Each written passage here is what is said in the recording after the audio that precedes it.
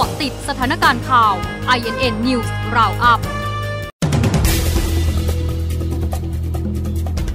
17นาฬิกา6นาที รัฐมนตรีว่าการกระทรวงเกษตรและสหกรณ์แจงซักฟอกเคลียร์ปมระบายยาง ยืนยันบริสุทธิ์โปร่งใสสุจริตไม่ผิดกฎหมาย 17นาฬิกา24นาที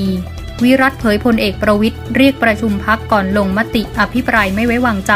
ขอให้เป็นไปในทิศทางเดียวกัน ย้ำทุกคนต้องรักกันให้เหนียวแน่น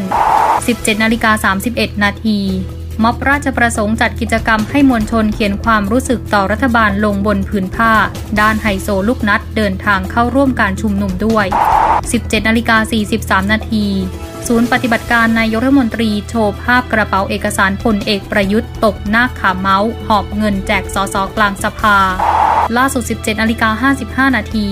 ปตทและบางจากประกาศปรับขึ้นราคาน้ำมันเฉพาะกลุ่มดีเซล 30 สตางค์คงเบนซินและแก๊สโซฮอลมีผลวันพรุ่งนี้เวลา 5 นาฬิกา